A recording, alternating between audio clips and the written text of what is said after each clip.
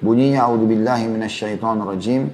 Innal ladzina yujadiluna fi ayati Allahi bighairi sultanin atahum in fi sudurihim illa kibrun ma hum bibalighi. Ma hum bibalighihi fasta'id billahi innahu huwas samiul basir.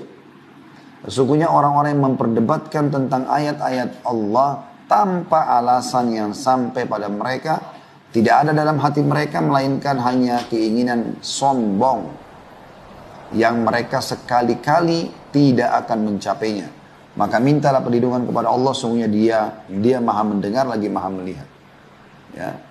Jadi Allah subhanahu wa ta'ala memastikan orang-orang yang tidak mau mendengar penyampaian agama Allah subhanahu wa ta'ala dinasehati jangan lakukan ini karena Allah berfirman seperti ini Rasulullah SAW bersabda seperti ini dia tidak mau dengar diluruskan kesalahannya justru malah marah ngambek boykot orang lain ya atau bahkan begitu ketahuan ya boroknya kesalahannya ya, aibnya coba dinasihati malah dia melawan malah dia sengaja menyerang balik ya, bukannya malah mengambil manfaat daripada nasihat-nasihat orang para sahabat berlumba-lumba untuk bisa mengejar menjadi orang yang tidak sombong ya.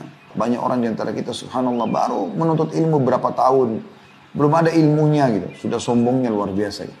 Seakan-akan sudah tidak bisa diingatkan lagi. Dia yang paling benar.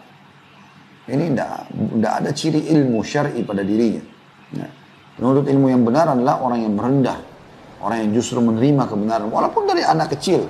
Selama itu kebenaran.